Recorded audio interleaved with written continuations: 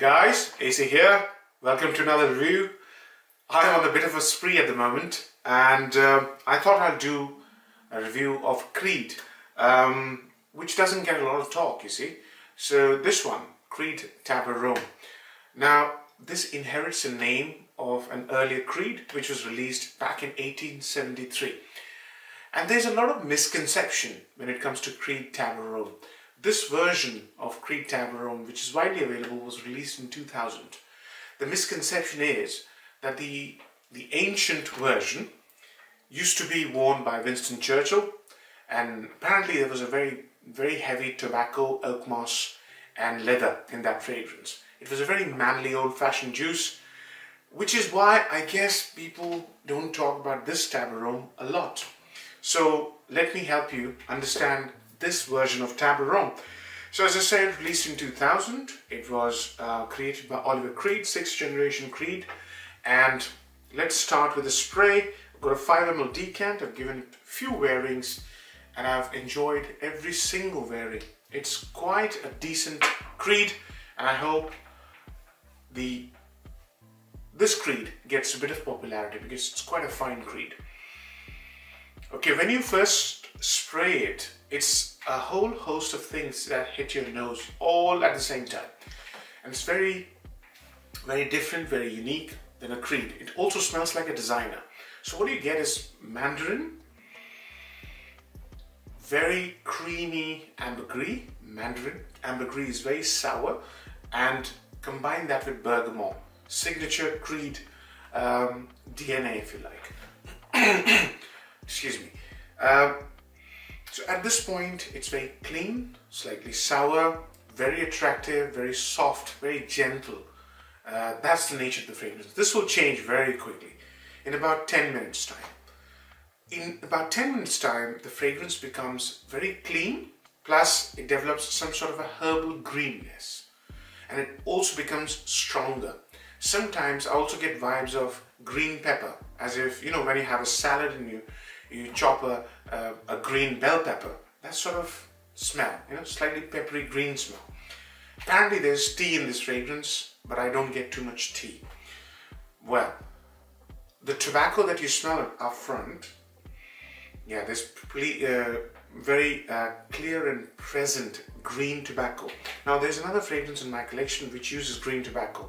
There is absolutely no similarity. This one is a powerhouse 80s type fragrance. This is very interesting um, and very manly. There's no similarity, but these are the only two fragrances I've smelled with green tobacco leaves. Now, the second transition, which happens in about five minutes, is when it reminds me of another fragrance which I have reviewed. It's Rasasi's Sutur Ta. And the fragrance keeps reminding me for about next two hours of Sutur Ta. So check out, I've reviewed this one. But after that, the fragrance changes direction. Tabarome changes direction. I've got a four and a half hour dry down. And this is when the fragrance really creates the impression of a very suave, very polished gentleman. That's why I said, you know, this could be a very fine gentleman's signature scent. Uh, such a beautiful fragrance, very good natured, really classy. So what you smell here is a browned up tobacco. So this is this is not dry at all. This is very minty and peppery and mentholic. This one is quite dry, refined fine tobacco with embellished sandalwood, very soft and beautiful sandalwood with musk and ambergris, the signature Creed ambergris. And it's also very sour as compared to what you what you get in the opening. So Sa, uh, beautiful sandalwood, very, very nice ambergris, one of the finest ambergris, uh, along with a really nice fine tobacco, but the tobacco play, starts playing peekaboo, you know. This is, the longevity of the fragrance is quite, quite high, about 8 to 10 hours. And sometimes you uh, smell the tobacco, sometimes you don't smell the tobacco. In the very late dry down, which is, which is a third transition, you also get a very mentholated uh, sort of a sheet, you know, uh, like a very clean, freshly ironed bed sheet folded and, and put into the cupboard. That sort of a lavender-like smell with eucalyptus oil sprayed on it. I was very amazed by that because there is no use of eucalyptus or lavender. So it does smell of a mentholated, clean sheet. Very late out, about nine plus hours. That tells you about the longevity. So such a fine fragrance, guys. Starts off lemony mandarin, slightly sour green tobacco, then goes into sort of herbal deep. It, it grows in concentration, herbal deep scent, uh, which smells of green pepper, although um, briefly, and brings in notes like tea, I don't get it, um, sandalwood and ambergris and musk, and then goes into dry, sort of sour ambergris with sandalwood and some fine tobacco, then mentholated eucalyptus uh, oil sprinkled over a dry sheet. So beautiful journey, if you like.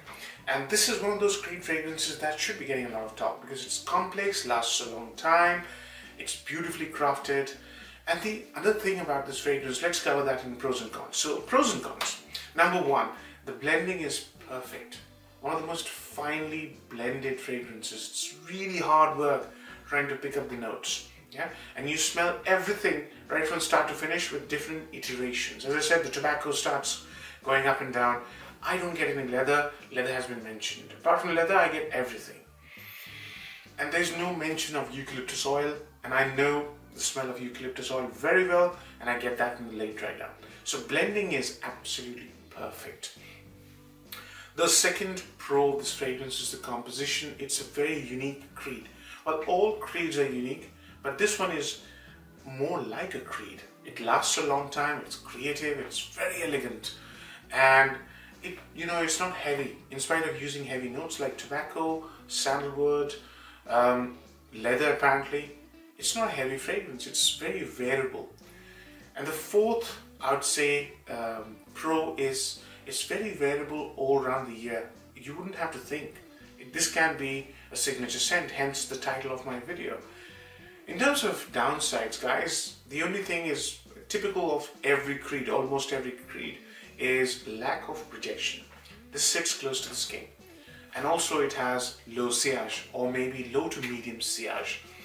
But the uniqueness of the fragrance and the understated elegance of this fragrance, I would say, probably demands it. You don't want a screamer when you're trying to wear something which is very elegant, very sophisticated. Yeah, This is for a very classy uh, gentleman yeah, who dresses really well, who has tremendous self-confidence, but speaks uh, only when spoken to. That kind of stuff, you know, never speaks out of turn. It's not very screechy or loud, has impeccable manners. That's the kind of personality of the scent.